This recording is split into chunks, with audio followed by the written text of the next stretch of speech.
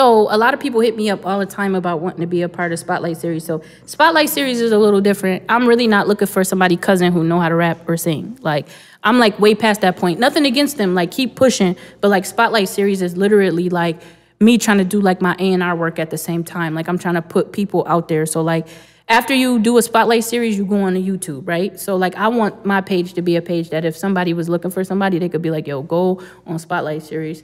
You probably could find you an artist on there. Them like you know what I'm saying? So whoever I pick is a reflection of me. Like and who mm-hmm. what type of music I would listen to and how good of an ear I have. So like the process is like if you have an EPK and you well put together and the city is saying like, Neph, this, this is who we love. Like, you know what I'm saying? Mm-hmm. And Spotlight Series is not to just stay in Buffalo. This is what we're doing right now. Like, of course, I'm going to start in my city. I want Spotlight Series to like branch out. And because right now with Spotlight Series 716, I want to do a Spotlight Series 718. 213. Like I want to be everywhere. Like, you know what I'm saying? But like when I pick my artist, you have to be a certain type of artist. I want you to have videos. I want you to have music. I want you to have like a team. I want you to be like professional. Like I want you to bring your shit. Like I want to be a how you getting an interview if you only got one song out? That's what I'm saying. Like how could I even get Chandra to interview you? Hey, clip that up. clip that up. Right. Like, how am I supposed to provide a platform for you not to say nothing? Like, I don't want you to say, "Yeah, I woke up and I did music yesterday.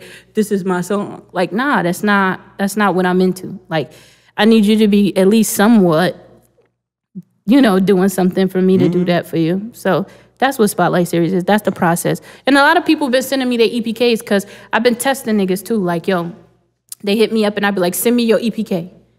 What's that? Now I don't hear from him for like a month, and then all of a sudden I got an EPK. I'm happy that you created one. Thanks. Yeah, you gotta Be prepared. put them onto that verbiage. Yeah. Electronic press kit. Get that. Oh yeah, sorry. Electronic press kit. Get that. So, do you eventually want to do it more than once a month too? I do. If I, I have to get a like a bit like a, a staff mm-hmm. because it's a lot with just sure. the little like the little little team that I have. Like it's really a lot for us. So like doing and when my promo game get up and like my shit get where I need it to be, yes, we could do more than one. But right now we still kind of like pushing like one show at a time because we still moving. Like we still mm-hmm. getting it together. We still getting the flow. So yeah, I do. Word. That's gonna be hard. And I'm gonna be doing more shows anyway, so sometimes I'm I might can't do like a spotlight series twice. Like I'll do a spotlight series and then I'll do a show that's just Betty Croc Entertainment. You get what I'm saying? Like that. How was the uh the show at Larkin Square? Bomb. Like, and you know what? Oh, shout out to Harry from Larkin Square. He really, really fucked with us. Like he really was like, whatever y'all need, like I'm around for y'all. So shout out to Harry from Larkin Square. I really appreciate you like a lot. He's he kind of like still want to support, like still trying to help me like figure out like a home for Spotlight series too. So like yeah, I built a lot of um relationships with people like like AI. Like I built a really great um, relationship with AI. She was one of the sponsors for Spotlight series. Um, Pineapple Co. Like um, Hugo Hurt, that's my mentor. Like I. I got a lot of people that's behind me and like pushing me, like you know what I'm saying. I just want to get it right enough so that they could feel so confident in what they give me or if they put behind me. I want them to be like, oh yeah, every time, whatever you need. Word. That's fire. That's super dope.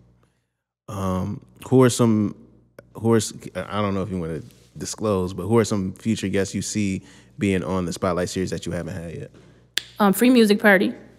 That'd be hard. I'm definitely getting free music party. Plus, they they be creating their own setups and all that, their backgrounds and aesthetics. That joint gonna be crazy. Oh man, I, I definitely fuck with Free Music Party. Um, Dre Cash, I want him bad. I'm bro- I'm gonna do my brother Rick Hyde. He already told me he was gonna do one for me. We just gotta make sure like it's in good timing. Um, let me see. Who else?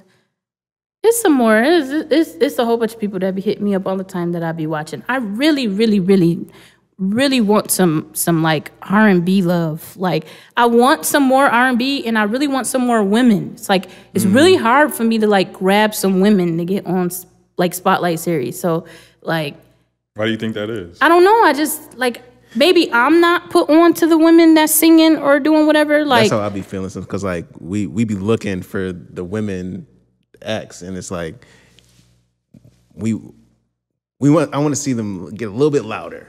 Yeah, get like, I wanna social hear it. media, Get more out. Get put yourself out there a little bit more so we can see. D- DM us a lot of a lot, and that's one thing I, I've talked to some some artists. A lot of artists are like afraid to like reach out to the media outlets because it's like, oh, you supposed Mm-hmm. to see me and da da da da. And it's like, no, it's okay to say hi to.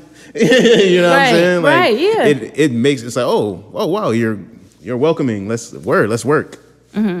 Is that it's it's. Mm-hmm. I it's want some simple, ladies. but- They could reach out to me. Hit me up. Hit up Neph. hit up my hit up my DMs. Like go in there because I really am looking for some women. Like li- whether you sing, whether you rap, whatever. Like I'm really looking for some women to do something with, and I'm looking for just.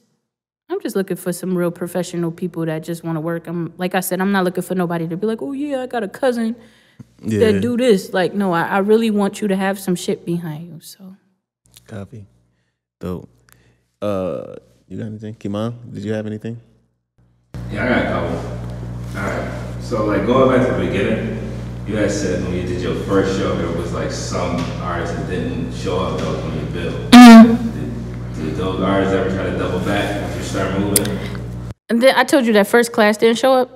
Uh-huh. Billy Billy Esco got a Larkin Square Spotlight series. Like, you know what I'm saying? Like, mm-hmm. I don't hold no grudge.